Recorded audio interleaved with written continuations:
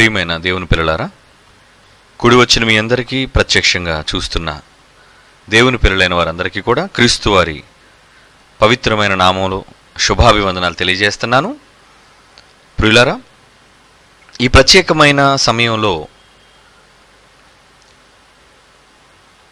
మీరు చూస్తున్న ఈ అంశం అనగా క్రీస్తుకు నానాటికి పెరుగుతున్న ప్రజాదరణ. ఈ దేశంలో ఆయనపై మొగ్గు చూపుతున్న అనేక మంది భారతీయులు. మరి క్రీస్తును విశ్వసించటం పట్ల ఓర్వలేని కొందరు దుష్టులైన పనివారు. అదే పనిగా బైబిల్ని నిందిస్తూ బైబిల్ని అవమానిస్తూ దేవుడు రాయించిన మాటలలోని ఆంతర్యాన్ని ఎరుగక. పవిత్ర గ్రంథమైన బైబిల్పై అలాగే మహనీయుడిపై బురద చల్లాలి అన్న ఒక దురుద్దేశంతో ప్రియులరా ఈరోజు క్రైస్తవులపైన క్రైస్తవ్యం పైన దాడికి సిద్ధపడుతున్నారు అన్నది మీకు తెలియని విషయమేమీ కాదు. వీరిలో మతమౌఢ్యంతో నిండిన మతఛాందస్సవాదులు. తాము నమ్ముకున్న మతమని పిచ్చి పట్టిన వెర్రివాళ్ళు పిచ్చి సన్నాసులు. ఎదుటి వాళ్ళని ద్వేషిస్తూ ఎదుటివారి నమ్మకాలను కాలరాస్తూ. కేవలం తాము నమ్ముకున్న గ్రంథాలను గొప్పవని చెప్పుకునే దమ్ము ధైర్యం వారికి లేక ఇతర గ్రంథాల జోలికి వెళ్ళి వారి గ్రంథాలు తప్పుడు గ్రంథాలు అని చెప్పుకొని బ్రతుకుతున్న వాళ్ళు ఈరోజు ఈ దేశంలో ఎక్కువైపోయారు. భారతీయ జనతా పార్టీ అధికారంలోనికి వచ్చిన నాట నుండి ఈ మతోన్మాదులకు మతఛాందసవాదులకు పరోక్షంగా అండగా నిలబడుతూ మరి ఏ విధంగానైనా సరే ఈ దేశంలో క్రైస్తవ్యాన్ని కాలరాయాలి. అన్న ఒక అంతర్గత ప్రణాళికతో ఈ దేశంలో ఎందరో అధికారంలో ఉన్నారు అన్న సంగతి మీకు తెలిసినది. అందును బట్టే రెండు వేల ఇరవై ఒకటి నాటికి క్రైస్తవ్యాన్ని ఈ దేశంలో అంతం చేస్తాం అన్న పబ్లిక్ స్టేట్మెంట్ ఈ దేశవ్యాప్తంగా వారు ఇవ్వగలిగారు అంటే ఎంత ప్రణాళిక వారికి లేకపోతే వారంతా బహిర్గతంగా బహిరంగంగా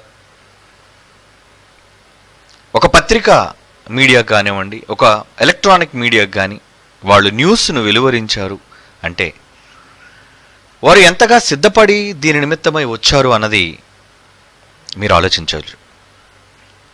ప్రియులారా ఏది ఏమైనా క్రైస్తవ్యాన్ని ఈ దేశంలో తుడిచేయాలి అని వారుకున్న ఆలోచన. అది ఎప్పటికీ నెరవేరలేనిది అది మనకు తెలుసు. రాజ్యాలు మారిపోతాయేమో దేశాలు చెరిగిపోతాయేమో కానీ క్రైస్తవ్యం ఈ దేశం నుంచి రూపుమాపబడదు అన్న విషయం వారు తెలుసుకోవాలి. ఇది భవిష్యత్తు.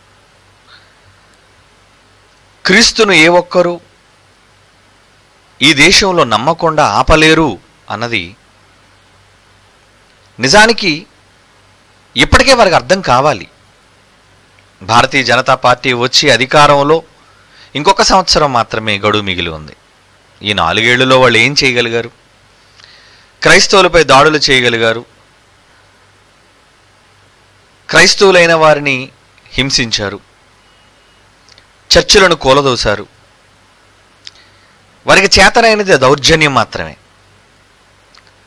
ప్రియులారా ధర్మయుద్ధం చేయటం చేతకాక ముఖాముఖిగా ఎదుర్కోవటం వారికి చేతకాక పరోక్షంగా దొంగ దెబ్బ తీయాలి అనుకోవటం అది వారికున్న దుష్టత్వం. ప్రియులారా ఏదో భారతదేశంలో క్రైస్తవులని శత్రువులుగా చూస్తూ క్రైస్తవులందరినీ మిగిలిన భారతదేశంలోని సోదరులకు వారిని విరోధులుగా చూపిస్తూ ఎలాగైనా సరే ఇద్దరి మధ్య వైరాన్ని రెచ్చగొట్టాలి అన్న వారి ఆలోచన మీకు తెలియనిది కాదు. ప్రియులారా క్రైస్తవ్యం నిజంగా సహనం కలిగింది. ఈరోజు మన దేశంలో మైనారిటీలుగా ఉన్న క్రైస్తవ్యంపై క్రైస్తవులపై జరుగుతున్న మెజారిటీ వర్గం ద్వారా దాడులు ఉత్తర భారతదేశంలో కానీ ఈ మధ్య అక్కడక్కడ చెదురుమదురుగా కనబడుతున్న దక్షిణ భారతదేశంలో కానీ మనం చూడగలం. ప్రియులరా నిజంగా ఒకవేళ క్రైస్తవులే అధికారంలో ఉంటే వారిలా భౌతిక దాడులకు మనం దిగేవాళ్ళం కాదు. అందరినీ ప్రేమించేవాళ్ళం అందరినీ సహించేవాళ్ళం. అన అనడానికి ఒక తార్కాణం ఒక నిజం చెప్పాలి అంటే ఈరోజు ఎన్నో వెస్టర్న్ కంట్రీస్లో ఏమండి? యునైటెడ్ స్టేట్స్ ఆఫ్ అమెరికాలో ఎందరో భారతదేశం నుంచి వలసపోయిన భారతీయులు ఉన్నారు మరి వారి దేశంలో గుడులు కట్టుకోవడానికి హైందవ సోదరులకి అక్కడున్న క్రైస్తవులు మెజారిటీ వాళ్ళంతా క్రైస్తవులే. అవునా కదా? యునైటెడ్ స్టేట్స్ ఆఫ్ అమెరికా అంటే వాళ్ళంతా క్రైస్తవులు.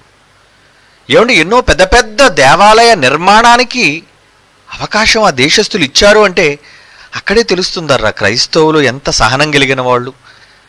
క్రైస్తవులు ఎంతగా అవకాశం ఇచ్చేవాళ్ళని. కానీ ఈ దేశంలో వారు మైనారిటీలుగా ఉన్న వారిపైన దాడులు చేస్తూ వారి చర్చలను కూలదోయాలి పడగొట్టాలి అని అనుకుంటున్నారు. ఒకళ్ళు అదే అనుకుంటే క్రైస్తవ్యానికి అదే మనసుంటే ఈరోజు చర్చిలు డెవలప్ అవుతున్నందుకు భయం పట్టుకుంది చాలామందికి. ఎక్కడ చూసిన చర్చిలు ఎక్కడ చూసిన ప్రార్థనలు. అలా అనుకుంటే అమెరికా దేశాల్లో కానీ యూరోప్ దేశాల్లో కానీ ఎందుకు అనేక హిందూ దేవాలయాలకు అనుమతులు ఉన్నాయి వాళ్ళు కట్టుకున్నారండి చాలా పెద్దవి నిర్మించుకున్నారు. అటు ఆసియా ఖండంలోని అనేక ముఖ్య పట్టణాలు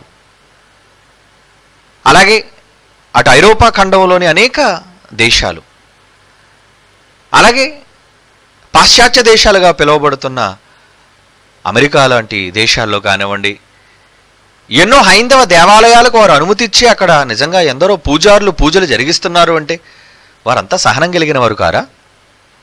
అమ్మో ఇక్కడ హైందవ దేవాలయాలకు అనుమతిస్తే ఎక్కడ మా దేశంలో ఉన్నవాళ్ళు హైందవులుగా మారిపోతారేమో అని భయం వాళ్ళకి ఏమైనా ఉంటే ముందు అసలు గుళ్ళకు అనుమతి ఇవ్వరండి.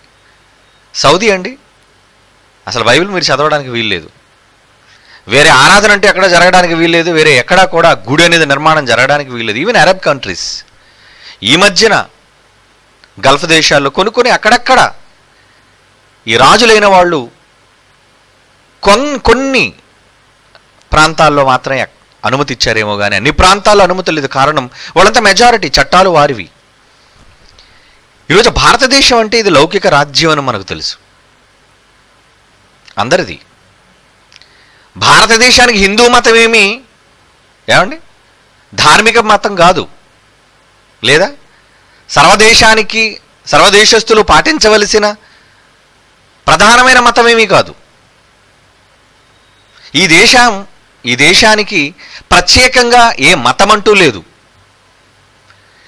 హిందూ దేశం అని పిలువబడుతుందంటే నిజానికి అది హింద్ అనే పర్షియన్ వర్డ్. చరిత్రలోనికి వెళితే భారతదేశానికి హింద్ అనే పదం వచ్చిందంటే అది మన భాష కాదండి. వాళ్ళ భాషలో హింద్ అని పిలిచారు. సింధు నాగరికత సింధుదనే మన ప్రాంతంలో పారే నదీ పారే పరివాహక ప్రాంతాల వెలసిల్లిన మరి ప్రజలను వాళ్ళు హిందుగా పరిగణించారు. దాన్ని బట్టి ఇది హిందూ దేశం అయింది అలాగని ఈ రోజున్న ఇక్కడున్న హిందూ మతస్థులను బట్టి హిందూ దేశం అని పిలవబడేది కాదు. కానీ ఈరోజు అనేక మంది క్రైస్తవులపై ఘోరాతి ఘోరంగా బైబిల్ని అవమానిస్తూ క్రైస్తవులను నిందిస్తూ వారు చేస్తున్న సువార్తను అడ్డగిస్తూ ఏమండి? ఎందుకు ఇలా చేస్తున్నారు అంటే తమ గ్రంథాల యొక్క గొప్పతనాన్ని ప్రకటించడం పోటీతో చేత కాలేదు వాళ్ళకి. అవసరమైతే మాలాగే సభలు పెట్టుకో. ఈ రాజ్యాంగం అధికారం ఇచ్చింది. మాలాగే నువ్వు అనేక మందిని సన్మార్గంలో నడిపించి మార్చి చూడు.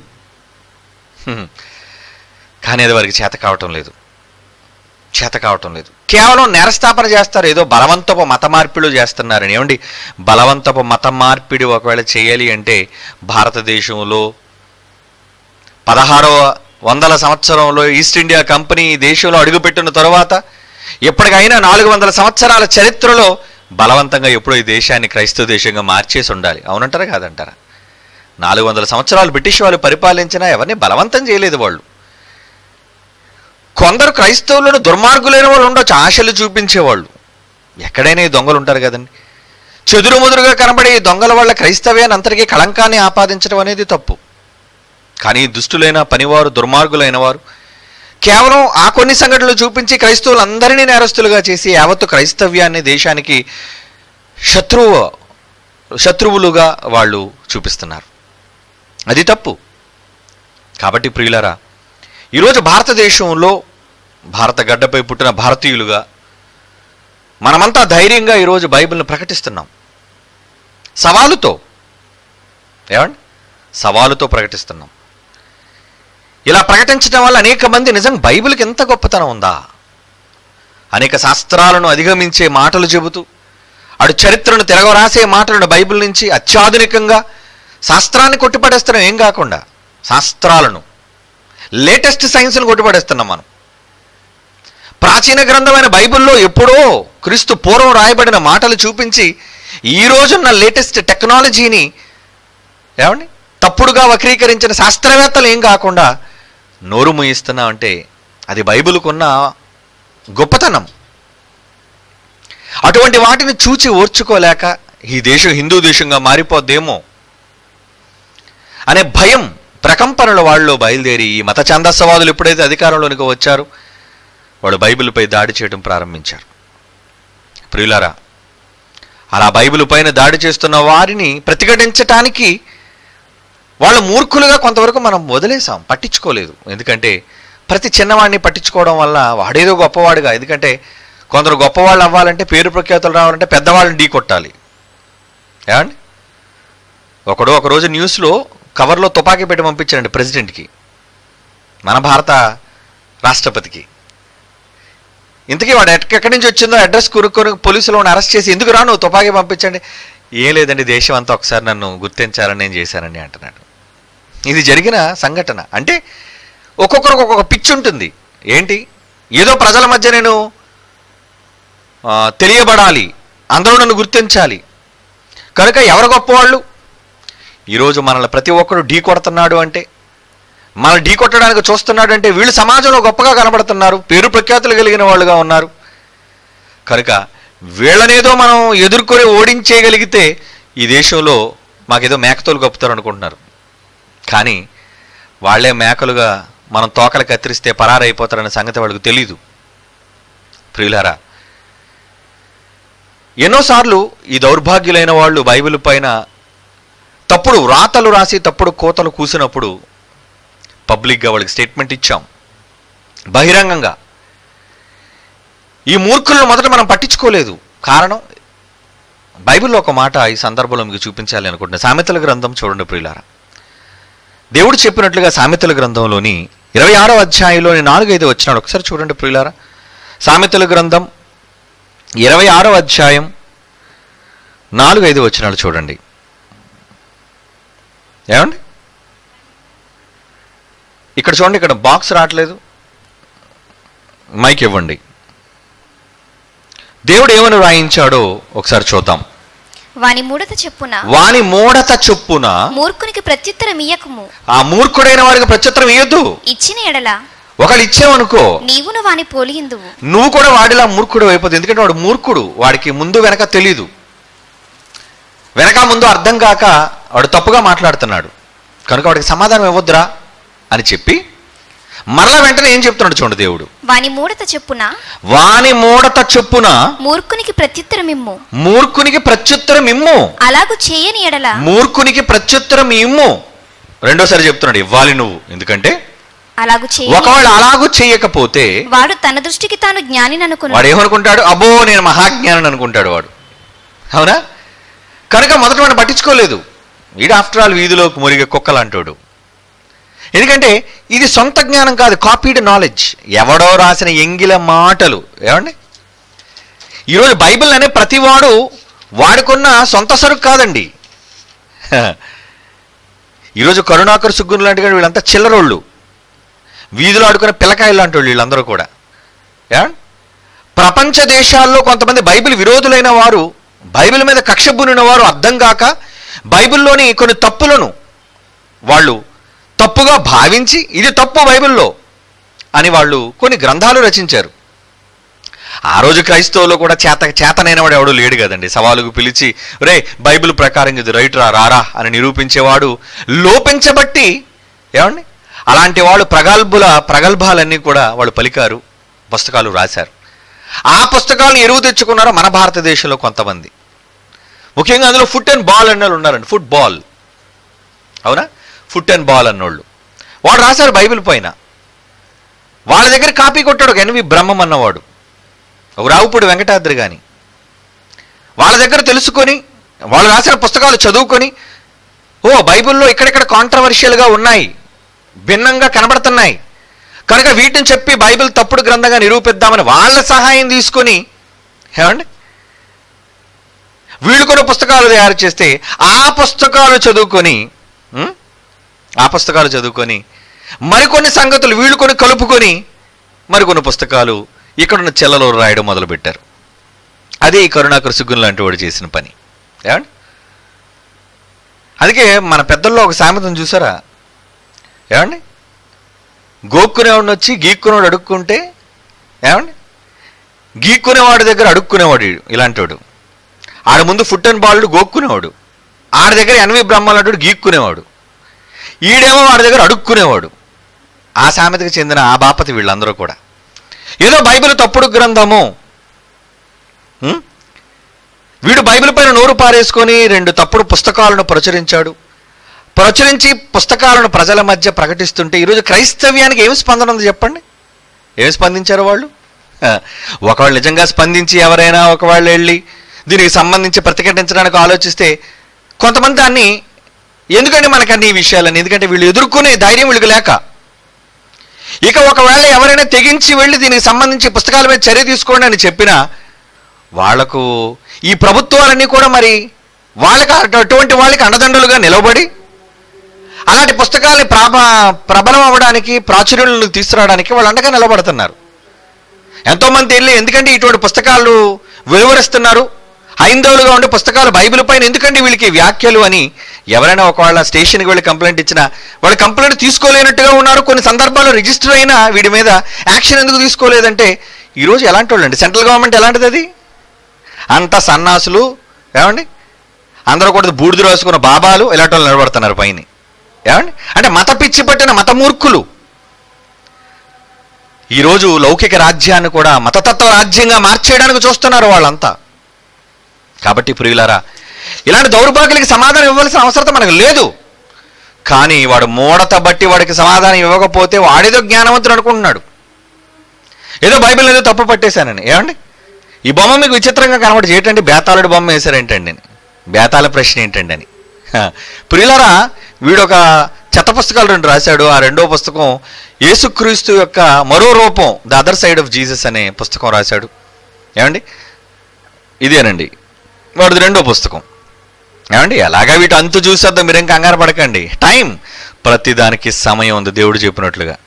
ఏదో మనం ఏదో ఊరుకున్నామంటే వాళ్ళు నిద్రపోతున్నారు ఆ ఫోన్లే. మనం ఏదో గెలిచేసాం ఏంటి ఈరోజు వాడు ఏం చెప్పుకోండి నేను మాట్లాడడానికి కూడా ఈరోజు కౌంటర్ ఇవ్వడానికి వీడి కౌంటర్ ఇవ్వాల్సిన పని లేదు. ఎందుకంటే సెకండ్ కౌంటర్లోనే చెప్పేశాను. రే నువ్వు సంతకం పెట్టే దమ్ము నీకు లేనప్పుడు నీకు కౌంటర్ అనవసరం. కానీ ఈ పిచ్చుకోక బయటికి వెళ్ళి ఏం చెప్పుకుంటుందంటే మేము గెలుస్తాం. ఏంటి నెల రోజులు టైం ఇచ్చారట? ఈ నెల రోజుల్లో మనం స్పందించకపోతే మనం ఓడిపోయాం. ఓడిపోయానని ఎవరు చెప్తున్నాడు? పిడి సుందరరావు గారు ఓడిపోయారట. పాప పెట్టి బాబు ప్రపంచంలో నీకు ఎవరెవరి పేర్లు కనబడతారు అందరి పేర్లు పెట్టాయి చేవలేక ఏమండి? దమ్ము ప్రజల మధ్య నిలబడి ఢీ కొట్టే ధైర్యం లేక నువ్వు రాసిన పుస్తకాలు ఒక్కదాని మీద రారా నన్ను ఓడించరా? నేను బైబిల్ని వదిలేస్తాను అని చెబితే ఒక్కదాని మీద నిలబడే సత్తా దమ్ము ఈ దౌర్భాగ్యులు లేక? ఏమండి? నువ్వు రాసే జ్ఞానవంతుడు అని అనుకున్నప్పుడు నువ్వు రాసిన దాని మీద నిజమని నిరూపించుకునే దమ్ము నీకు లేదా? లేదు. ప్రజల మధ్య పోటీ జరగాలి ఒక్క విషయం మీద ఎందుకంటే పుస్తకం అంతటి మీద పోటీ జరగాలంటే వారాల తరబడి కూర్చోవాలండి. ప్రజలు ఎప్పుడు కూర్చుంటారు? ప్రజలందరినీ వారాలు నెలల తరబడి కూర్చోబెడదామా? పుస్తకం అంతటి మీద అంటే అప్పుడు ఏంటంటే ఆది కాండం నుంచి ప్రకటన వరకు అరవై ఆరు పుస్తకాల మీద అంటాడు వాదన. ఇలాంటి మూర్ఖులు కనుక ఇలాంటి మూర్ఖులతో ఒకటే ఫైట్ ఒకే దెబ్బ. ఒక్క విషయంలో ఓడించు. నువ్వు రాసిన పుస్తకంలో బైబిల్ తప్పని అనడానికి ఎన్నో రాసావు. అందులో ఒక్క దానితో నేను అనుకుంటు నేను ఒప్పుకున్నాను కదా ఒక్క దానితో రా. నువ్వు నిజంగా ఆ ఒక్క దానితో నన్ను గెలిచేస్తే బైబిల్ అంతా వదిలేస్తానన్నాడు ఏంటి ఎంత సులువైన పని? సులువుగా ఇచ్చా మనకి ఒక్కదానితో కొట్టే రానన్నని. కానీ ఒక్కదానితో నిలబడడానికి భయపడుతున్నారు ఈ పిచ్చి సన్నాసులు అంటే వణుకు ప్రారంభమైంది వాళ్ళకి. ప్రజల మధ్యకి వెళితే ఒప్పించేస్తారు వీళ్ళు చమత్కారులు వీళ్ళు. దమ్మున్నోడైతే రావాలి. చేవున్నోడైతే రావాలి. నేను మగవాణ్ణి నాకు మూత మీద మీస మొలిచింది అనుకుంటే రావాలి వాడు. రాకుండా సంతకం కూడా ఈ రోజుకి పెట్టడానికి ఏమంటే మనమే సొంతంగా. ఒక ఎన్వి బ్రహ్మం అనేది జైశాలి వారు. వాడు ఓడిపోయాడు అన్నారంటే ఉత్తర ప్రత్యుత్తరాలు జరిగావని సింహగర్జనలు మీకు తెలుసు. ఈవెన్ దేదాత్తో జరిగిన ఉత్తర ప్రత్యుత్తరాలు మీకు అన్నీ తెలుసు. వాడు సంతకం పెట్టి పంపించినవి. అవన్నీ ఉన్నాయి సింహగర్జనలో. పోటీకి వస్తారని చెప్పిన తర్వాత ఎన్వి బ్రహ్మం కానివ్వండి వీళ్ళందరితో జరిగిన పోటీలు. అంతేగాని యుద్ధం జరగకుండా నేనే గెలిచాను నేనే గెలిచానంటే వాడిని ఏమనుకుంటారండి? వీడికి వెర్రి వెంగళప్ప. యుద్ధానికి వెళ్ళకుండా నేనే గెలిచానని చెప్పుకునేవాడిని ఏమంటారు చెప్పండి? అలాంటి పిచ్చి సన్నాసులు లాంటి వీళ్ళందరూ కూడా ఈరోజు మేమే గెలిచేసాం అనుకుంటున్నారు కాబట్టి ఈ దౌర్భాగ్యులకు చివరిగా ఎందుకంటే చివరిగా ఎందుకు అన్నానంటే ఆ తర్వాత వాళ్ళ కౌంట్ డౌన్ స్టార్ట్ అవుతుంది. జీవం కలిగిన యహో నామంలో చెబుతున్నాను ఈ మాట ఎప్పటికే దేవుడు జోలికి వచ్చిన ఎందరో మట్టి కొట్టుకుపోయారు. ధైర్యంగా ఎదుర్కొనే దమ్ము లేని ఇలాంటి సన్నాసులందరూ కూడా దేవుడు విడిచిపెట్టడు. వాళ్ళకి పట్టే గతి ఏంటో? ప్రత్యక్షంగా మీరే చూద్దురు కానీ మన చేతికి మట్టంటదు హ్మ్. మనం ఎందులో నిలవాలం? కాం. కానీ వాళ్ళు గొయ్యి వాళ్ళే తవ్వుకుంటారు. తవ్వుకున్నారు ఆల్రెడీ. ఎందుకంటే వాళ్ళు అన్నది క్రీస్తుని వాళ్ళు అన్నది బైబిల్ని. వారు వచ్చింది రోషంగల గల యెహోవా జోలికి వచ్చారు వాళ్ళు. మనం ఒకవేళ సామరస్యంతో ప్రేమతో మనం ఉన్నా మనల కన్నా తండ్రి రోషం కలిగిన వాడు ఆయన. ఎవరిని సహించేవాడు కాడు? కనుక ప్రియులారా ఈరోజు బేతాళ ప్రశ్న అని నేను ఎందుకు అన్నానంటే వాడు రాసిన రెండో పుస్తకంలో ఏమన్నా ఒక ప్రశ్న రాశాడండి. ఆ ప్రశ్నకు మీకు చెబుతాను. ప్రియులారా ఒకళ్ళ మీలో చాలామందికి వాడి కోసం కాదు వాడికి ఎక్స్ప్లెనేషన్ ఇచ్చుకునే అవసరం మనకు లేదు. కానీ క్రైస్తవ సోదరులారా మీలో చాలా మందికి తెలియదు వాడు ప్రగల్భాల పలికి రాశాడు. ఏమని రాశాడు తెలుసా? ఏమండి ఇలాంటివి చాలా ఉన్నాయి. వాటన్నిటిని ఫింగర్స్ మీద ఓడించవచ్చు వాడు రాసినవన్నీ చాలా సునాయాసనమైనవి చాలా సులువైనవి. సులువుగా గెలిచొచ్చేవాడు ఎందుకంటే బైబిల్లోని డెప్త్లోనికి వెళ్ళలేదు. చూడండి ఒకసారి యోహాను సౌత్ ఎనిమిది అధ్యాయం మూడు నుంచి పదకొండు. అక్కడ సందర్భం వదిలేండి. టైం లేదు కదా మనకి. టైం లేదు కదా. సందర్భం ఏంటంటే అక్కడ వ్యభిచారవంత పట్టబడిన స్త్రీ వచ్చింది. ధర్మశాస్త్ర ప్రకారంగా రాళ్ళు కొట్టాలి. మరి యేసుప్రభు కొట్టాడా? కొట్టలేదుగా. అంటే యేసుప్రభు ధర్మశాస్త్రం నెరవేర్చలేదుగా? మరి కానీ వచ్చినప్పుడు ఏం గొప్ప చెప్పుకున్నాడు యేసుప్రభు? ఏమని చెప్పుకున్నాడంటే ఏమండి? మతీసు వార్త ఐదో అధ్యాయం పదిహేడు వచ్చిన దానికి మళ్ళీ కౌంటరు. ఎందుకంటే బైబిల్లోని మాట వీడికి అర్థం కాక మరో బైబిల్లోని మాట చూపించాడు. మతీసు వార్త ఐదో అధ్యాయం పదిహేడు వచ్చును యేసుప్రభు అంటున్న మాట ధర్మశాస్త్రమునైన ధర్మశాస్త్రమునైనను ప్రవక్తల వచనములనైన ప్రవక్తల వచనములనైనను కొట్టివై వచ్చిత్రను కొట్టివేయ వచ్చితనని తలంచవద్దు తలంచవద్దు నెరవేర్చు- నెరవేర్చుటకే గాని కొట్టివేటుకు నేను రాలేదు అని చెప్పాడు యేసుప్రభు వచ్చాడు. మరి నెరవేర్చడానికి వచ్చానని చెప్పిన వ్యక్తి ఎందుకు యేసు రా ఎత్తి కొట్టలేదు? వ్యభిచారవంత పట్టబడిన స్త్రీని రెడీ హ్యాండెడ్గా పట్టుకున్నారు. ఆమె తప్పు చేసిందని. కనుక యేసు ప్రభు ధర్మశాస్త్రాన్ని నెరవేర్చాడా? నెరవేర్చలేదా? నెరవేర్చలేదు. అంటే యేసుప్రభువే ధర్మశాస్త్రాన్ని నెరవేర్చలేదు. కనుక ఇది బేతాళ ప్రశ్న. ఏమండి? ఎవరిని అడిగితే సమాధానం చెప్పలేడు. మనం అసలకే విక్రమార్కులం. బైబిల్లోని విక్రమార్కులం మనం. బైబిల్లో టోటల్ పట్టుంది ఏ మూల నుంచి ఏ మూలకు వచ్చినా వాడికి చావగొట్టి చెవులు మూసే సత్తా మన దగ్గర ఉంది. ప్రియులరా ఇంతకీ యేసుప్రభు వారు ధర్మశాస్త్రాన్ని అమలు చేశారా లేదా అనే విషయం గురించి మనం ఆలోచించగలిగితే ఒక విషయాన్ని మనం జాగ్రత్తగా గమనించాలి. యేసుక్రీస్తు వారు వచ్చి ధర్మశాస్త్రాన్ని మార్పు చేశారు. వాడేదే చెప్పాడండి ఏదో మార్చేశాడు మార్చేశాడు. ధర్మశాస్త్రం యేసుప్రభు నెరవేర్చలేదు. నెరవేర్చడానికి వచ్చానని చెప్పి తప్పిపోయాడు. రాయత్తు కొట్టలేదు. పోనీ వాళ్ళైతే పాపులు కొట్టలేదు. యేసుప్రభు పవిత్రుడు కదా.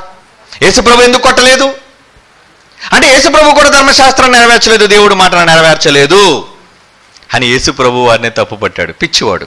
బైబిల్ తెలియక ప్రియులారా మరి ఇప్పుడు మీరేమనుకున్నారు చెప్పండి పాపం క్రైస్తవులు మీకు కూడా చాలామందికి సందేహం ఉంటుంది కదా అవును కదా? యేసు నెరవేర్చాలి కదా ధర్మశాస్త్రాన్ని? నెరవేర్చడానికే వచ్చానన్నాడు కదా? పదిహేడు వచ్చిన చదివారు కానీ తర్వాత మాట కూడా మీరు చదవండి ప్రియులారా మత్స్యవార్త ఐదో అధ్యాయం పదిహేడు వచ్చినం ధర్మశాస్త్రం నేను ప్రవక్తల వచ్చినంలో నిన్ను కొట్టివేయ వచ్చిన తలంచవద్దు నెరవేర్చుటకే కానీ కొట్టివేయటకు నేను రాలేదు. ఆకాశము భూమియు గతించిపోయిననే గాని ధర్మశాస్త్రమంతియు నెరవేరు వరకు నెరవేరు వరకు దానిలోండి ఒక పొల్లైనను ఒక సున్నైనను తప్పిపోదని నిశ్చయముగా మీతో చెప్పుచాను నెరవేర్పు కాలం ఉందరా పిచ్చోడా? నెరవేరినంత వరకు తప్పిపో. నెరవేరిన తర్వాత పోతాయి. మరి ఎవరు నెరవేర్చారు? యేసుప్రభు వారు నెరవేర్చారు. ధర్మశాస్త్రాన్ని నెరవేర్చిన యేసుప్రభువా అవును. యేసుక్రీస్తు వారు ధర్మశాస్త్రాన్ని నెరవేర్చారు. నెరవేర్చారు అన్న విషయాన్ని మనం ఎలా చెప్పగలం? యేసుప్రభు నెరవేర్చ నెరవేర్స్తే మరి వ్యభిచారమందు పట్టబడిన స్త్రీని రాళ్ళతో కొట్టి చంపాలి. నెరవేర్చలేదే. క్షమించి విడిచిపెట్టేసినట్టుగా ఉంది. ఎక్కడ యేసుక్రీస్తు వారు ధర్మశాస్త్రాన్ని నెరవేర్చారు? ప్రియులారా అసలు ధర్మశాస్త్రం అంటే ఏమనుకుంటున్నారు వీళ్ళు? ధర్మశాస్త్రం అంటే లా చట్టం. ఏమండి ఈరోజు చట్టాలు మన దేశంలో ఎందుకున్నా చెప్పండి? చట్టం అనేది దేశంలో ఎందుకున్నా చెప్పండి? ఇరుగు పొరుగు వాళ్ళ మధ్య సఖ్యతను పెంచటం కోసం ఇద్దరి మధ్య ఎటువంటి రణరంగం రాకుండా సఖ్యత సామరస్యాన్ని సృష్టించడం కోసం ఈరోజు చట్టం ఉంది. దాన్ని అమలు చేసే పోలీసు వాళ్ళు ఉన్నారు. దాన్ని అమలు చేసే న్యాయస్థానాలు ఉన్నాయి. ఇవన్నీ ఉన్నాయంటే ఏంటి? ప్రజల మధ్య శాంతి భద్రతలను కాపాడడం కోసమే. ఏమండి? IPC section three not two ఎందుకుంది? ఏడు భారతీయులు చంపాడనుక. వీళ్ళటోడికి అర్థం కాకపోతే ఏమంటాడంటే మూడు వందల రెండు సెక్షన్ పెట్టి చాలా తప్పు చేసింది భారతదేశం అనాలి ఏమండి? తప్పు చేసిందా? రైటే. ఎందుకు చేసిందో తెలుసా? ఆ చట్టం.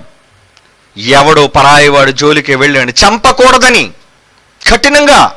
ఒకడు చంపితే నువ్వు కూడా వాడిలాగే చంపబడతావు. అంటే ఎదుట మనిషిలోని భయాన్ని పుట్టించడానికి చట్టం అనేది ఉంది. అవునా కాదా? కనుక ఆ చట్టం వెనుక ఏంటి తెలుసా? పరిరక్షణ. చట్టం కూడా ఎందుకుంది? సమాజంలో ప్రతి వ్యక్తిని పరిరక్షించడానికి ఉందండి చట్టం. అంటే మనుషులందరూ ప్రేమపూర్వకంగా బ్రతకాలి. ఒకరినొకరు కొట్టుకొనకుండా ఒకరినొకరు చంపుకొనకుండా ఒకరినొకరు దోచుకొనకుండా ఉండడం కోసమే చట్టం అమలులో ఉంది. అంటే చట్టం వల్ల మనుషులకు మేలా కీడా? మేలే. మరి దేవుడు ధర్మశాస్త్రాన్ని ఎందుకు ఇచ్చాడు ఇస్రాయలీలకి? ఆయన రాళ్ళతో కొట్టమని చెప్పినా కంటికి కన్ను పంటికి పన్నుని చెప్పినా దేనికో తెలుసా? సమాజంలో ప్రతి మనిషిలో భయాన్ని కలిగించాలి. ఏమండి? మన దేశంలోనండి జరిగిన అక్రమాలకి త్వరగా తీర్పులు తీర్చబడవండి. అదే విదేశాల్లో అయితే అదే ముఖ్యంగా గల్ఫ్ దేశాల్లోని మరి ఇస్లాం రాష్ట్రాల్లో అయితే చూడండి భయంకరంగా వాళ్ళకి శిక్షలు అమలు జరుగుతుంది అందుకే క్రైమ్ రేట్ అక్కడ తక్కువ. చాలా దేశాల్లో శిక్షలో కఠినంగా అమలు చేసే పరిస్థితులు ఉన్నాయి కాబట్టి అక్కడ క్రైమ్ రేట్ చాలా తక్కువగా ఉంటుంది. మనలాంటి మనుషులే వాళ్ళు కూడా. కానీ ఎందుకు అక్కడ జరగటం లేదు? చట్టం బట్టి భయపడుతున్నారు అక్కడ. మనవాడు కూడా అక్కడికి వెళ్ళి భయపడతాడు. భారతదేశంలో ఉన్నవాడు కూడా అక్కడికి వెళ్ళేసరికి భయంతో బ్రతుకుతాడు వాడు. కారణం ఏంటో తెలుసా? వాళ్ళ చట్టాల యొక్క పరిధి తీవ్రంగా ఉంటుంది కాబట్టి. కనుక తీవ్రమైన చట్టాలు చేయడంలో ఉద్దేశం ఏంటో తెలుసా? దేవుడు కఠినుడని కాదు దేవుడు రాక్షసుడని కాదు. నిన్ను కాపాడాలి పొరుగువారిని నీ నుంచి దుర్మార్గుడైన వారి నుంచి కాపాడాలి. సమాజం అంతా కూడా శాంతి భద్రతలతో ఉండాలనే ఉద్దేశంతో కఠినమైన చట్టాలను దేవుడు అమలులోనికి తీసుకువచ్చాడు. కనుక దేవుడు చేసిన ప్రతి చట్టం వెనుక క్రమశిక్షణ ఉంటుంది. ప్రతి చట్టం వెనుక శాంతి భద్రతలు ఉంటాయి. అది అర్థం చేసుకోవాలి. కనుక ప్రియులారా ఇందుకు ఇప్పుడు ఈ విషయానికి వస్తే యేసుక్రీస్తు వారు ధర్మశాస్త్రాన్ని నెరవేర్చాలి అంటే రాయెత్తి కొట్టాలి. అవునా? మరి యేసుక్రీస్తు వారు ఎందుకు క్షమించి విడిచిపెట్టేశారు? అంటే యేసు ప్రభు వారు ధర్మశాస్త్రాన్ని నెరవేర్చలేదు అని అనుకుంటున్నారు ఈ మూర్ఖులు. నిజానికి ఒక మంచి మాట చూద్దాం ప్రియులర్. గలతీల పత్రిక గలతీ పత్రిక ఐదో అధ్యాయం పద్నాలుగో వచ్చిన మీరు చూడాలి. వీళ్ళకి బైబిల్ అంతా తెలుసా? తెలియదు కదా. గలతీ పత్రిక ఐదో అధ్యాయం పద్నాలుగో వచ్చిన చూడండి. ధర్మశాస్త్రం అంతయు ధర్మశాస్త్రం అంతా ఇక్కడ చెప్తున్నాడు చూడండి ధర్మశాస్త్రం చాలా ఆజ్ఞలు ఉన్నాయి నరహత్య చేయవద్దు వ్యభిచరించవద్దు దొంగిలవద్దు నీ పొరుగు వారిని ఆశించవద్దు ఇవన్నీ ఉన్నాయి ఆజ్ఞలలో. ఏమండి? ఈ అన్ని ఆజ్ఞలలో ఇవన్నీ కలిపిన ధర్మశాస్త్రం వినిపించుకుంటే గలతి పత్రిక ఐదో అధ్యాయం పద్నాలుగులో ఏమంటున్నాడండి? ధర్మశాస్త్రం అంతయు ధర్మశాస్త్రం అంతయు నిన్ను వలని పొరుగు అని నిన్ను వలే నీ పొరుగు వారిని ప్రేమించుము అన్న ఒక్క. మాటలో సంపూర్ణమై ఉన్నది. అంటే ధర్మశాస్త్రం అంతా ఒక్క మాటలో కొట్టేయచ్చా? ఏంటా ఒక్క మాట? నిన్ను వలే నీ పొరుగు వారిని ప్రేమించు అన్నాడు. అంటే నిన్ను వలే నీ పొరుగు వారిని ప్రేమిస్తే ధర్మశాస్త్రం నెరవేర్చినట్టేనా? నెరవేర్చినట్టే. ఇప్పుడు యేసుప్రభు వారు వ్యభిచారవందు పట్టబడిన స్త్రీని ఏం చేశారు? ఆ? నిన్ను వలే నీ పొరుగు వారిని ప్రేమించాలి అన్న ఒక్క మాటలోని ధర్మశాస్త్రం అంతా ఇముడిపోయింది కాబట్టి అమ్మా నీకెవరు శిక్ష విధించలేదు? అడిగేదేంది అడిగాడు చూడండి ఒకసారి ఆ మాట చూడండి. యోహాను సువార్త ఎనిమిదో అధ్యాయం. యోహాను రాసిన సువార్త యేసుప్రభామితో పలికిన మాట చూడండి. తప్పు చేయమని ప్రోత్సహించాడా? లేదు. యోహాను సువార్త ఎనిమిదో అధ్యాయం. పదవచ్చు పదవచనం. యేసు తల ఎత్తి చూచి అమ్మా వారు ఎక్కడున్నారు ఎవరు? ఎవరు నీకు శిక్ష విధింపలేదా? అని అడిగినప్పుడు ఆమె లేదు ప్రభు అనను. అందుకు యేసు నేను నీకు శిక్ష విధింపను. నీవు వెళ్ళి ఇక పాపము చేయకమని ఆమెతో చెప్పను. ఎందుకు ఈయన శిక్ష విధించలేదు? శిక్ష విధించలేదంటే రాయెత్తు కొట్టొచ్చు. కానీ మరొక విధంగా ధర్మశాస్త్రాన్ని అమలు చేశాడు. వీడు అనుకుంటున్నాడు ఈ మూర్ఖుడు ఈ బేతాళుడు ఏమండి వీడేమనుకున్నాడు రాయితీ కొట్టలేదు రాయితీ కొట్టలేదు రాయితీ కొట్టలేదు. ధర్మశాస్త్రం నెరవేర్చదు అనుకోండి ఓరి పిచ్చి సన్నాసి ధర్మశాస్త్రం నెరవేర్చడం అంటే ఏడు తెలుసా? టోటల్గా ధర్మశాస్త్రం అంతా నిన్ను వల్ల నీ పొరుగు అని ప్రేమించిన ఒక్క మాట చాలురా. అది చేశాడు యేసుప్రభు. ఇప్పుడు నెరవేర్చినట్ట నెరవేర్చలేనట్ట? అందుకు విడిచిపెట్టేశాడు యేసుప్రభు. ఇది నీకు తెలుసా? రెండు క్షణాల్లో ఓడించేస్తాను వస్తే నువ్వు బేతాళుడా పాతాళరా? పాతాళానికి పోతావు నువ్వు. ఇక్కడ క్లాస్ కాబట్టి చాలా స్మూత్గా సింపుల్గా చెప్తున్నాను. ఉగ్ర రూపం చూద్దు కానీ వస్తే వేదిక మీదకి. వీరసింహం ఎలా ఉంటుందో? నువ్వు వచ్చినప్పుడు దడబుట్టుకూడదు నీకు. గడగడలాడాలి ఎవడైనా సరే. రింగులోకి వెళ్తానంటే భయం. ఓరి నాని ఏ యాంగిల్ వచ్చి కొట్టేస్తాడు ఈడన? ఉండాలా భయం? లేదు భయం లేదు దమ్మును మనగాడిని మగాడిని అనుకుంటా సత్తా పెట్టరా ఎప్పటికైనా సరే. బైబిల్ తప్పని నిరూపించడానికి ఒక్కటే దెబ్బ వన్ పంచ్ వన్ ఫైట్. రెడీయా? నువ్వు నిజంగా ఏమండి? మేలా ఫీమేలా? నువ్వు చీర కట్టుకున్నావా ప్యాంటు షర్ట్ వేసుకున్నావా? నువ్వు నిజంగా ప్యాంటు షర్ట్ వేసుకున్న మగాడినని అనుకుంటే నిజంగా ఈ మాట తను విన్న తర్వాత రోషం అంటూ పొడుచుకొస్తే ఉప్పు కారం తన శరీరం అంటూ నీకుంటే సంతకం పెట్టు పోటీకి నిలబడరా ఒక్క పాయింట్ మీద. మార్చేస్తాను నిన్ను. ఓడించేస్తాను నిన్ను. కన్ఫర్మ్ ప్రియులారా యేసుప్రభు ధర్మశాస్త్రం నెరవేర్చలేదు. ఏట్రా నీ మొహం బేతాళ ప్రశ్న? నెరవేర్చాడురా. ప్రేమించి నెరవేర్చాడురా. నీలాంటి వాడైతే మూర్ఖుడు. రాయితో కూడా చంపేస్తాడు. ఎందుకంటే నువ్వు నరహంతకుడివి. నువ్వు నేర్పించేది కూడా పలుగులు పారలు ఇచ్చి ఎదుటి వాళ్ళని దాడి చేయమని నేర్పిస్తున్నావు. వద్దర్రా. మనం అలాంటివి చేయకూడదు. చెయ్యం. కానీ యేసుక్రీస్తు వారు ధర్మశాస్త్రాన్ని నెరవేర్చారు. ఏంటి నిన్ను వల్ల నీ పొరుగు అని ప్రేమించడం పాత్ర మందరం లేదా? వీడు అంటాడు కొత్త మందం మీరు చెప్పారు కదా అంటాడు. హై పాత్ర మందరం కూడా చూపిస్తాను రా పిచ్చి సన్నాసి లేవ్యాకాండం చూడరా. చూడు లేవ్యాకాండం పంతొమ్మిదో అధ్యాయం పద్దెనిమిదో వచనంలో ఏముందో ముప్పై నాలుగో వచ్చరంలో ఏముందో చూడు. దేవుడు ఇస్తున్న నియమావళి ధర్మశాస్త్రంలో ఏముందో దేవుడు చెప్పాడు ఆ రోజు వాళ్ళకి. లేవ్యాకాండం పంతొమ్మిదో అధ్యాయం పద్దెనిమిదో వచ్చిన చదవండి ముందు. కీడుకు ప్రతికీడు చేయకూడదు. కీడుకు ప్రతికీడు చేయొద్దు. నీ ప్రజల మీద కోపం ఉంచుకొనక. నీ ప్రజల మీద కోపం ఉంచుకొనక. నిన్ను వలని పొరుగు అని నిన్ను వలే నీ పొరుగు వారిని ప్రేమించు. లేదా బైబిల్లో? పాత ధర్మశాస్త్రం ఇస్రాయల్కి ఇచ్చిన ఆజ్ఞలో ఉందరా నిన్ను వలె నీ పొరుగు అని ప్రేమించమని వాళ్ళు కీడు చేశారు. నువ్వు కూడా కీడు చేయడం కాదు నాయనా. వాడు దాడి చేశాడు కాబట్టి నువ్వు కూడా దాడి చేయమని కాదు. దేవుడు ఎందుకు అన్నాడు తెలుసా? కంటికి కన్ను పంటికి పన్నని. భయం కలిగించాలి. చట్టం అనేది మనుషులు భయాన్ని కలిగించడానికి. ఈరోజు ఎందుకు మన దేశంలో చట్టాలు తీవ్రతరం చేస్తున్నారో తెలుసా? రేపొద్దున ఎవడైనా తప్పు చేయడానికి వణుకు పుట్టాలని. అవునా? అదే నీ చట్టాల వెనక ఆలోచన అయితే దేవుడు కూడా కఠినమైన రాతి చట్టాలు చేయడానికి గల కారణం ఆ రోజున మనిషి కఠినుడైన మనిషిని భయపెట్టడానికి. చంపాలని కాదు. మనుషులందరినీ సర్వనాశనం చేయాలని కాదు. నువ్వు చెప్తావు వక్రీకరించి నీలాంటి దౌర్భాగ్యులైన వాళ్ళు. అవునా? ముప్పై నాలుగు వచ్చలేమన్నాడు చూడండి. ముప్పై నాలుగో వచ్చినం మీ మధ్య నివసించు పరదేశులు. మీ మధ్య నివసించే పరదేశులు. బయట వాళ్ళు. మీలో పుట్టిన వాని వల్ల ఎంచవలెను మీలో పుట్టిన వాళ్ళగా ఎంచండి రా బరాయి వాళ్ళుగా చూడకండి రా వాళ్ళని. నిన్ను వలె వాణిని ప్రేమింప నిన్ను వలె వాణ్ణి ప్రేమించు. ఏమంటే నిన్ను వలె నీ పొరుగు అని ప్రేమించిన ధర్మశాస్త్రంలో లేదా? ఆయన ధర్మశాస్త్రాన్ని వీడు అంటాడు తెలుసా? ధర్మశాస్త్రం యేసుప్రభు మార్చేశాడు. అవునరా మార్చాడు. ఎందుకు మార్చాడు తెలుసా? దేవుడే మారుస్తానన్నాడు. అది నీకు తెలియదు ఎవరే సన్నాసి. నువ్వు బైబిల్ చెప్పాలి కదా. గీక్కునేవాడి దగ్గర గోక్కునేవాడి దగ్గర లాక్కునే టైప్ నీది. అవునా? వాడికే తెలియదు నీ బాబులు నీ తాతలకే తెలియదురా బైబిల్లో. నువ్వేమని వక్రీకరిస్తావు? యేసుప్రభు మార్చేశాడు. పాత ధర్మశాస్త్రంలో దేవుడు చెప్పిన దాన్ని అంతా వక్రీకరించేశాడు. కొత్త నిబంధన అనేదాన్ని మార్చిపడేశాడని తప్పుడు వ్యాఖ్యలు చేస్తున్నావురా. రే తప్పురా. నీకు తెలియకపోతే నేర్చుకోరా. బైబిల్ విశ్వవిద్యాలయం ఉంది. నువ్వు నేర్చుకొని ప్రశ్నలను అడిగి పుస్తకం రాసే ముందు అడిగితే బాగుండు. ఎవరిని సంప్రదించకుండా పుస్తకాలు రాసి తప్పు చేశావు? తప్పు చేశావు. అందుకే నీపైన ఈ ధ్వజం. ఏమండి? యేసుక్రీస్తు వారు యేసుక్రీస్తు వారు ధర్మశాస్త్రాన్ని మార్చేశాడా? మార్చాడు. మార్చింది యేసు ప్రభు కాదురా. దేవుడే మారుస్తారని చెప్పాడు. ఏంటో తెలుసా? తెలుసా నీకు ఏ రోజైనా? బైబిల్ చదివా చూడరా దరిద్రుడా బైబిల్ నాకు తెలుసు. నీ అనుమాయులైన వాళ్ళు నీ వాళ్ళు. దొంగచాటుగా నువ్వు కూడా చూస్తున్నావు తెలుసు రోయ్. చూడు ఒకసారి బైబిల్ తెరిచి చూడరా. ఎక్కడుందో పుస్తకం తెలియకపోతే ఒక్కసారి బైబిల్ గిర్రని తిరిగేసి చూడరా. ఇరిమియా గ్రంథం ముప్పై ఒకటో అధ్యాయం ముప్పై ఒకటో వచ్చి నుంచి చదవాలి. ఇరిమియా గ్రంథం ప్రవక్తలు ఇది పాత నిబంధనలో రాయబడిన మాట కొత్త నిబంధనలో మాట కాదు రే సన్నాసి. బైబిల్ విరోధులందరూ గమనించాలి. అనవసరంగా బైబిల్ జోలికి రాకండి కబడ్డారు. వచ్చి మీ మగతనం చూపించుకోవాలనుకుంటే సంతకం పెట్టి బరిలోకి దిగండి రా ఒక్క విషయం మీద నువ్వు నేను తేల్చేసుకుందాం. నేనే అనడానికి వస్తే నీ గ్రంథాల జోలికి ఊసి ఎత్తితే అసలు నువ్వు కనబడవు. కానీ నిన్ను తప్పని నువ్వు నమ్ముకున్న దాన్ని తప్పని చెప్పి నా గ్రంథాన్ని గొప్పదని చెప్పుకుని నీలాంటి దౌర్భాగ్యుని కాను నేను.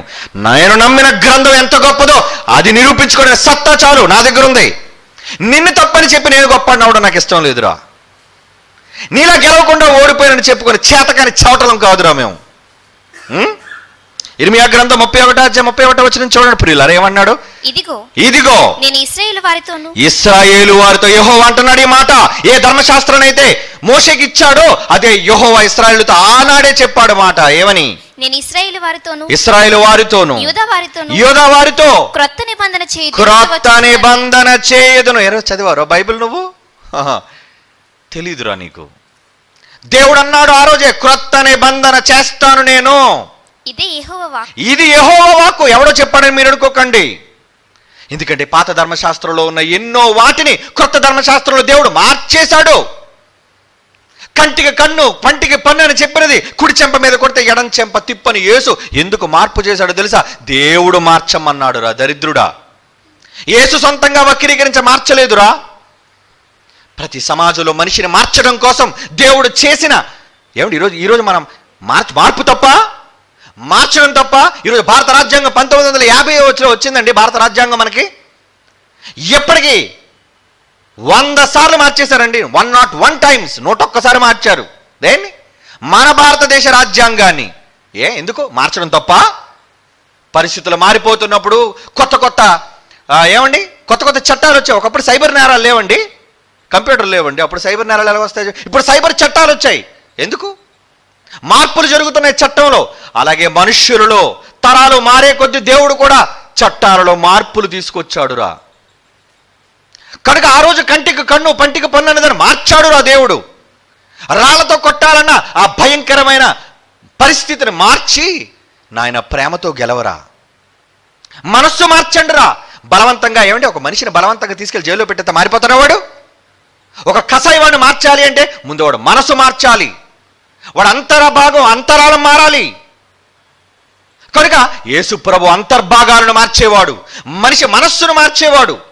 అది యేసు చేశాడు. అందుకే దొంగలు మారిపోయారు వ్యభిచారులు మారిపోయారు నరహంతకులు మారిపోయారు. అది యేసు చేసిన గొప్ప కార్యం. కాబట్టి ప్రియులారా ఇక్కడ దేవుడు ఆ రోజే చెప్పాడు ఇస్రాయలతో ఏమని?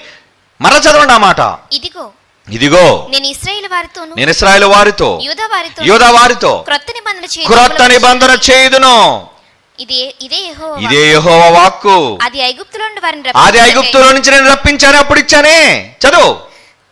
నేను వారిని చేయి పట్టుకున్న నేను దినమున వారిని చేయి పట్టుకున్న దినమున వారి పితరులతో నేను వారి పితరులైన ఇస్రాయేలుతో నేను చెప్పిన నిబంధన వంటిది కాదు. నిబంధన వంటిది కాదది. వారు ఆ నిబంధన భంగము చేసుకు వారు ఆ నిబంధన వాళ్ళు భంగం చేసుకున్నారు వాళ్ళు. ఇదే యెహోవా వాక్కు. ఇదే యెహోవా వాక్కు. ఈ దినములైన తరువాత. ఈ దినములైన తరువాత. నేను ఇస్రాయేల్ వారితోను ఇస్రాయేలు వారితో యూద వారితో యోధా వారితో చేయబో నిబంధన చేయబో నిబంధనను. ఇదే. ఇదే. వారి మనసులో నా- ధర్మ వారి మనస్సులలో ధర్మశాస్త్రాన్ని ఉంచుతారన్నాడు చూడండి ఇప్పటివరకు రాతి పలకల మీద పెట్టాను నేను. వారి హృదయం మీద దాన్ని కానీ వారి హృదయం మీద రాస్తానంటున్నాడు చూడండి రాశాడా? హృదయాల మీద రాశాడండి? ఒకసారి అలా గురించి చూద్దామంటే రెండో కొరింది పత్రిక?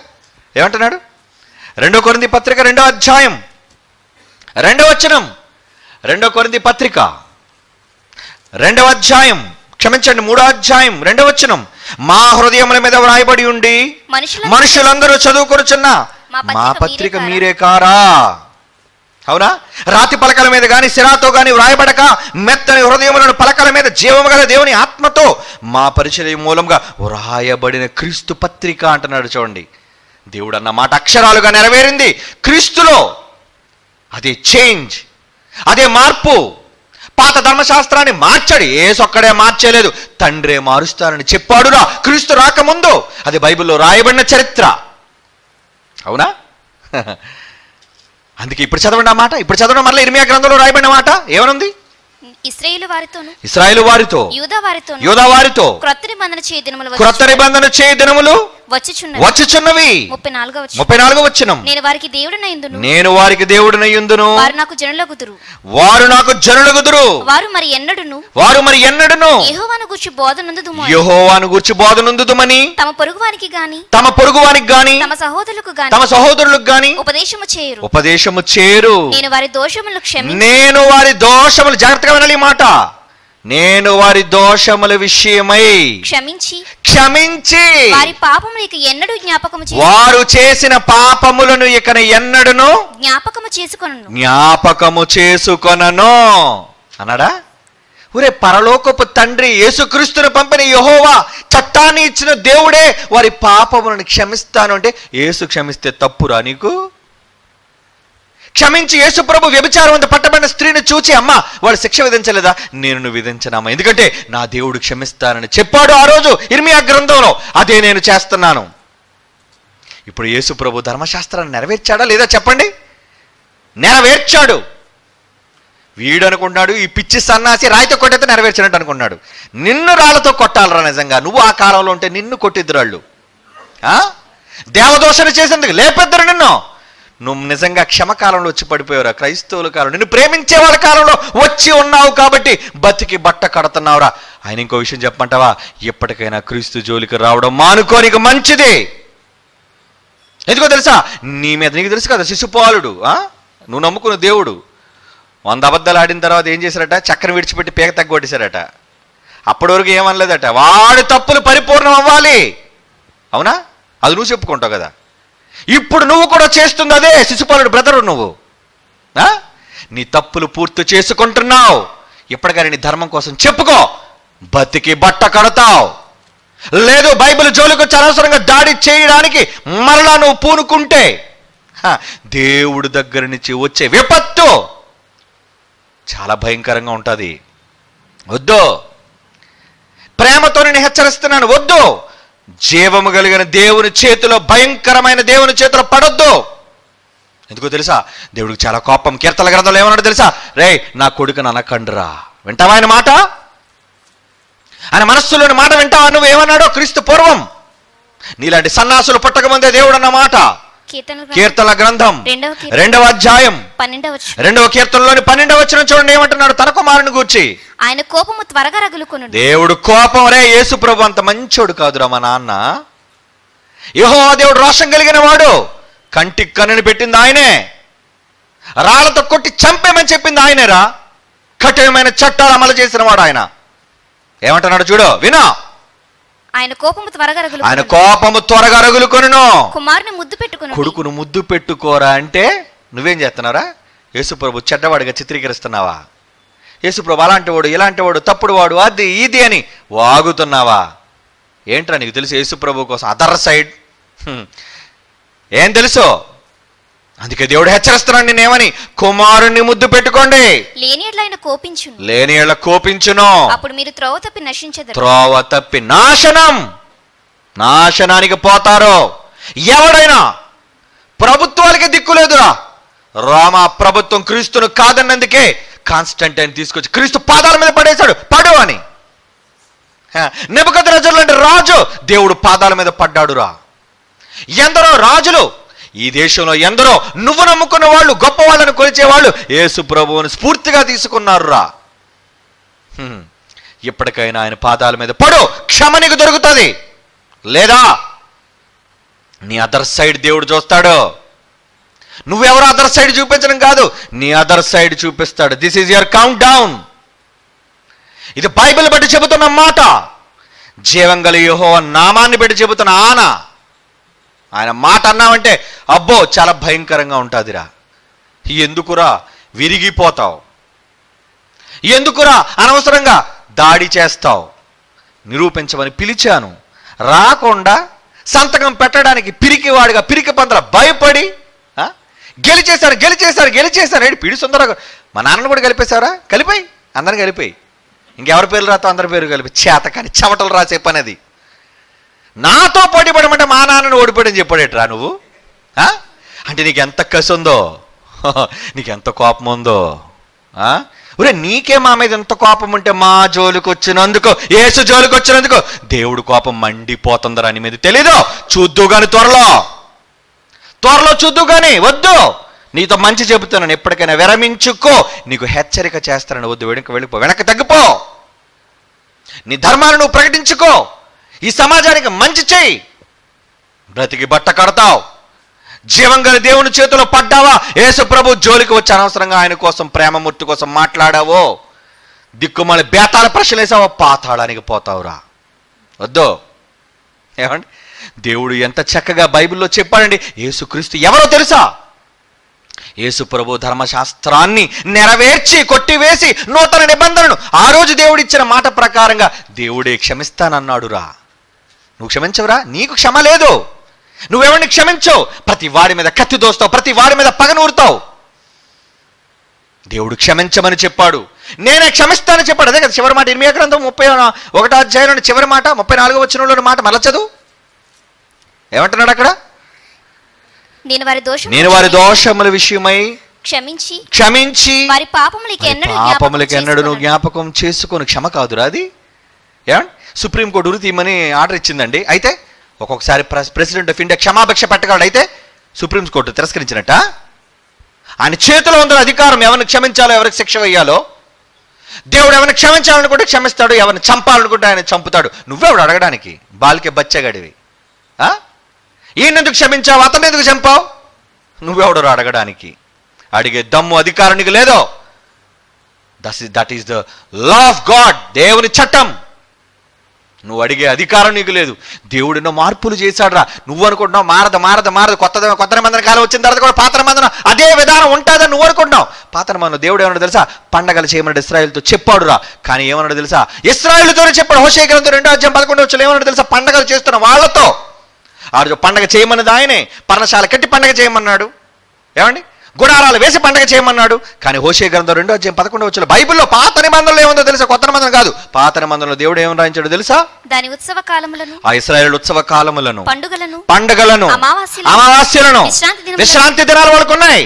నియామక కాలం నియామక కాలం అన్నా కదా విశ్రాంతి దినం విశ్రాంతి దినం విశ్రాంతి దినం యేసుప్రభు తప్పు చేశాడు తప్పు చేశాడు తప్పు చేశాడని. ఒరే అవన్నీ పోయాయిరా.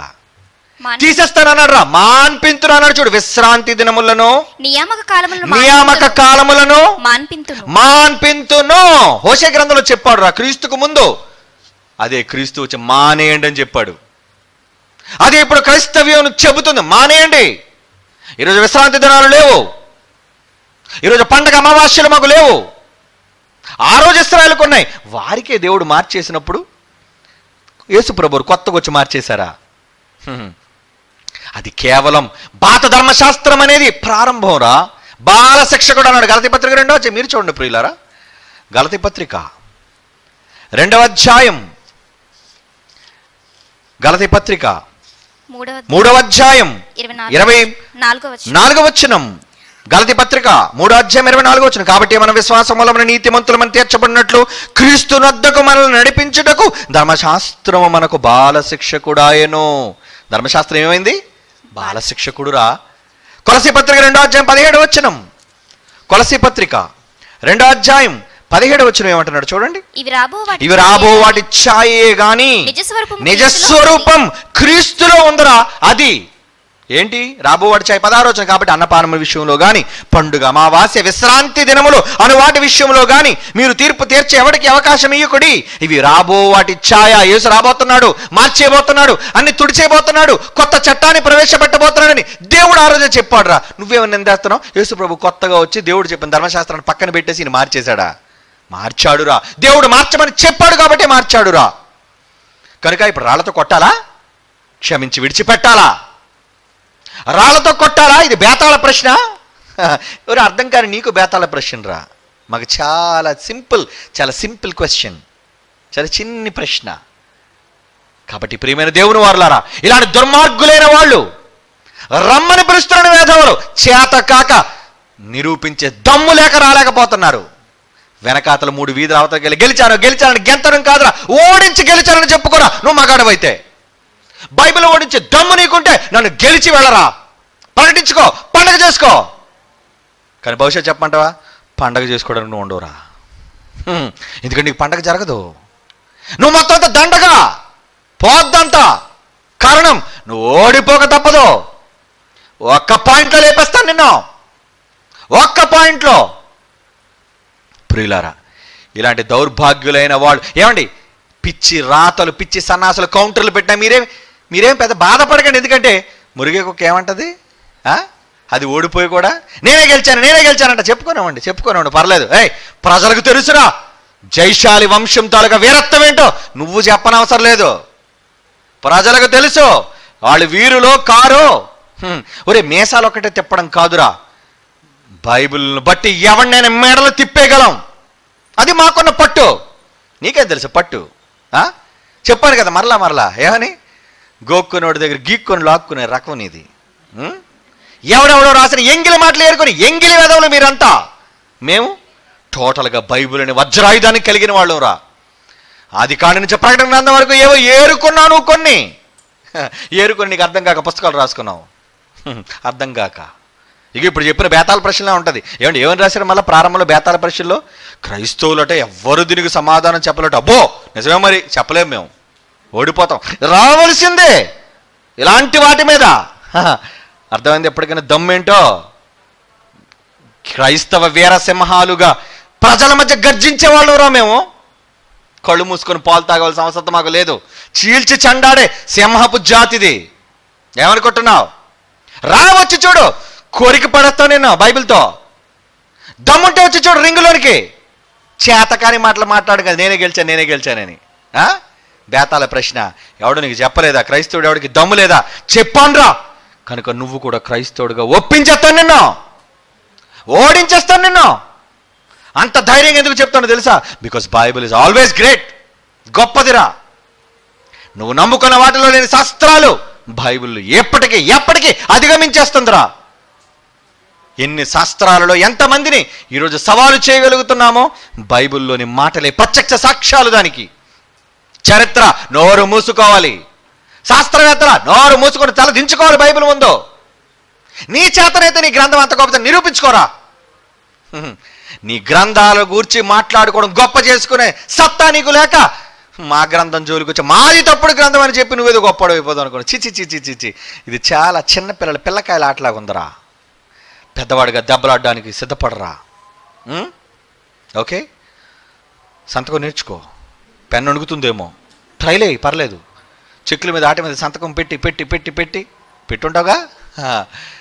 పెట్టి ఒక్కసారి సంతకం పెట్టి పంపించరా. ఒక్క విషయంలో దెబ్బలాడదాం ప్రజల మధ్య. నువ్వు నమ్ముకున్నది రైట్ నేను నమ్ముకున్నది రైట్ తేల్చేద్దాం. ఇంతకు మించి నీ కౌంటర్ అనవసరం రా. నువ్వు ఎందుకంటే పిచ్చి కుక్కవి.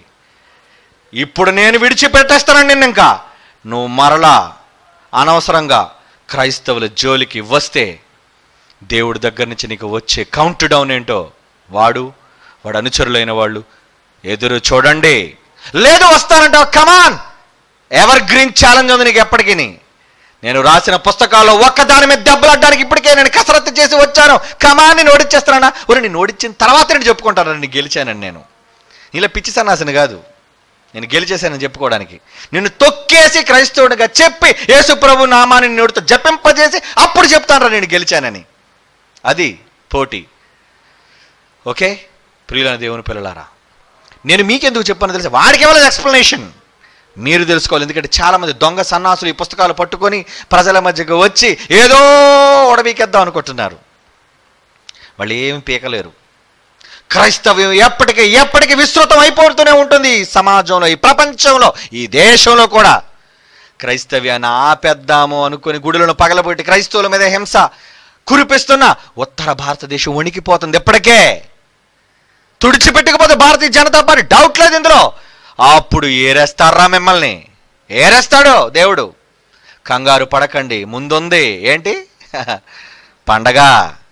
పాప నువ్వు అనుకున్నావు ఏదో పండగని. నీకు జరిగే పండగరా? మాకు పండగలు ఏమీ లేవు. దేవుడు ఏ పండగలు మాకు ఇవ్వలేదు కానీ నువ్వు ఓడిపోతేనే చూడాలని అందరూ పండగగా